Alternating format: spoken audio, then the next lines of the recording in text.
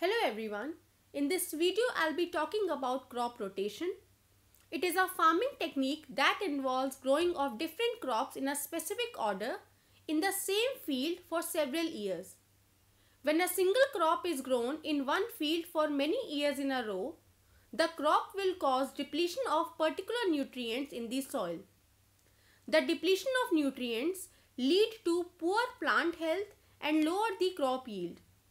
For example, a simple rotation between a heavy nitrogen using plant such as corn and a nitrogen depositing plant such as soybeans can help maintain a healthy balance of nutrients in the soil. Now let's talk about the advantages of crop rotation.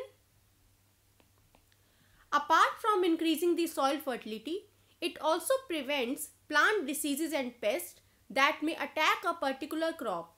So, they prevent plant diseases and pests.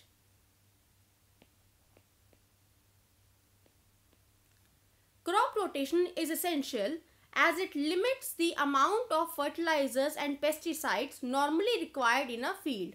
So, it also limits the amount of fertilizers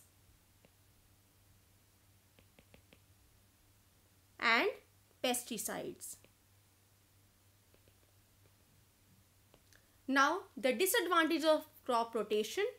It is difficult to specify which crops must be planted in the field.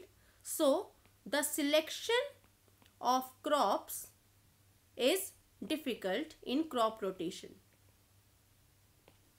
And their implementation is also difficult because if implementation if not done properly, it may lead to more harm than good. I hope you understand this topic. If you have any question, you can leave a comment. Thank you so much for today and have a great day.